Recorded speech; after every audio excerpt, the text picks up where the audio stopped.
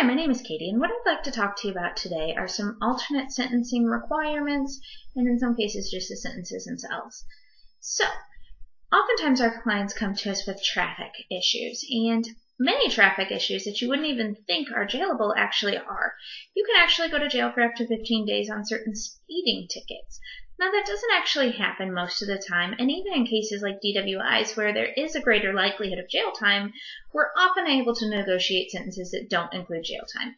But there are some trade offs and some things that may be involved in the terms of your probation or even your sentencing requirement. So, for DWIs particularly, there's a SATOP requirement, and that Substance Abuse Traffic Offender Program is what SATOP stands for. And basically, this may be a requirement of your probation, but to get your license back, that's also required by the Missouri Department of Revenue if it was suspended for an alcohol related offense. So what they do there is they screen you and then they put you in one of four different programs. Now, if you're a serious repeat offender, there actually is a fifth, but for the most part, we're just looking at four core programs.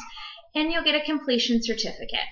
So a lot of courts actually do require that in alcohol cases or cases involving minors and alcohol or illegal drugs. There's another thing common for DWI offenders that's an ignition interlock. So what that is is that's a device that's actually installed into your car where you blow into the apparatus and if it tests positive for alcohol, the car won't start. The third thing that we're seeing is this SCRAM. It's Secure Continuous Remote Alcohol Control and it's outside of your body, so it's actually a bracelet that goes on your wrist that monitors alcohol content 24 7.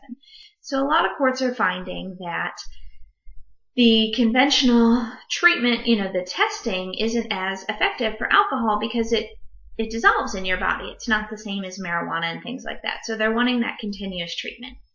Now these are just a few of the potential options, but they're the ones we're seeing the most often. So if you have questions about this or alternate things or things that might be sentenced to you as part of your probation, please come in and talk to us and we can sit down and go over the specifics of your case.